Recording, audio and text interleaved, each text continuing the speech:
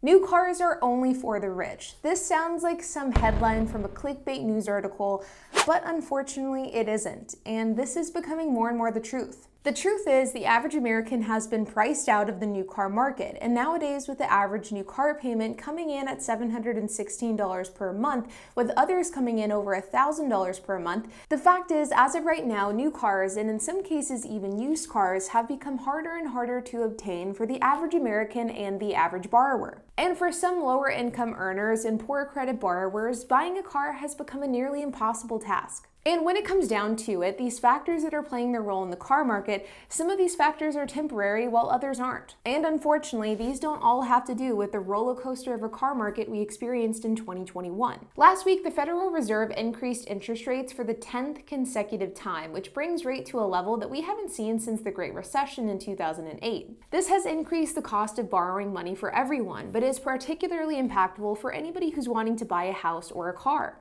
With the average new interest rate currently hovering between 6 and 7%, and the average used car rate at 10 to 11%, buying a car has become difficult for everyone, but especially for subprime borrowers. According to Cox Automotive in 2018, subprime borrowers, so borrowers with poor credit, made up 14% of new vehicle sales, while deep prime, so borrowers with really bad credit, made up 10% of car buyers.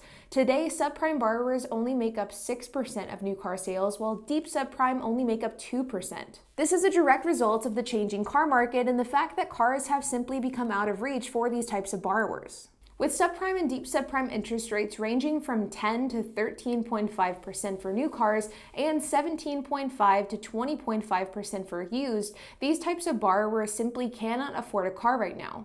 I mean, 20.5% interest for a used car, that is absolutely mind boggling.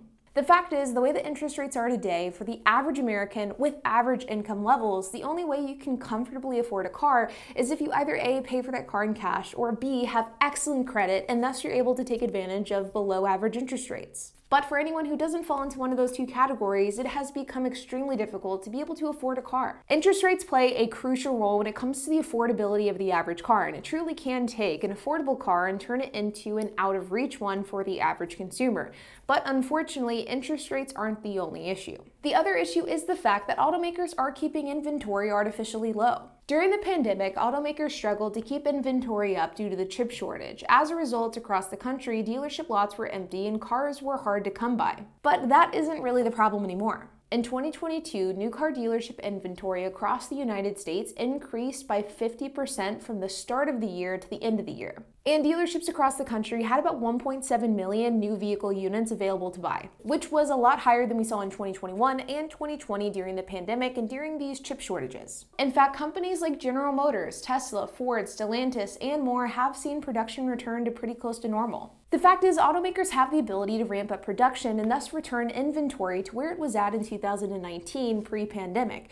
The problem, though, is that automakers don't really want this to happen, and this has in turn resulted in scheduled downtime. GM was the most recent company to do this with their Fort Wayne production plant, but they aren't expecting to be the last company to do this this year. And what this essentially means is that automakers are making the conscious decision to not produce cars for, in some cases, weeks at a time in order to keep production lower and inventory at bay. By pumping out less cars but charging more for those cars, they're actually able to make more money off of each individual car that they sell. And this is quite a big change from where the car market was pre pandemic, because historically, especially here in the United States, many automakers took the approach of manufacturing as many cars as possible and basically making the volume play. Let's sell a ton of cars at a cheaper price and in turn we'll make a lot of money. But over the last couple of years, there has been a real shift with the automotive industry and it's taking a very different approach approach. Instead, they're saying we're actually going to produce less cars, we're going to sell them at a higher price, and as a result, we'll make about the same amount of money with less effort. This is a really big deal, and it's quite a shift from where we used to be with the car market.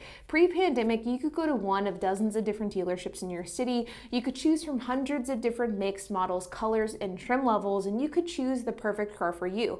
And chances are you could probably negotiate a pretty good price on that car because there were so many different cars to choose from. But that power of negotiation, that is no longer in the hands of the consumer and it's now beginning to shift into the hands of the dealership simply because of the fact that inventory is harder to come by. And this is in large part manufactured by automakers. And this brings me to my third and probably the most important point, which is just the fact that the cost of cars have gone up, and this isn't due to market trends and it's not something that is temporary. I've talked about this a lot on my channel, so I'll keep this point brief, but the reality is affordable cars are disappearing, and manufacturer after manufacturer are cutting their cheapest vehicles from their lineup. Chevy was the most recent manufacturer to do this with the Chevy Bolt. Luxury cars typically have a higher margin than economical ones. In fact, some of the most profitable cars on a per car basis are some of the most luxurious brands in the world, including BMW, Ferrari, and Mercedes. The practical economical car is disappearing, and even normal everyday brands are beginning to put a high emphasis on high price tag luxurious ones. Look at the Jeep, for example, in the Grand Wagoneer. This SUV has a starting price of $86,000, and a Suburban which starts at 57. but once you buy things like engine upgrades, interior options, and towing packages, you can very easily exceed $100,000 after tax, title, and license. The point is, is that these normal everyday brands like Toyota, Ford, Chevy, they are ditching their cheaper cars in favor of more expensive ones. And with the exception of a few economical makes and models, and whenever I say a few, I mean a very select few, cars have just gone up in price. The average price of a new car, while down about 1% in recent months, is still nearing 50,000, which is simply out of reach for the average person. The good news is, is that some of these factors should change, hopefully sooner than later. For example, interest rates. It is expected that interest rate hikes have come to an end, and as a result, the cost to borrow money should begin to go down.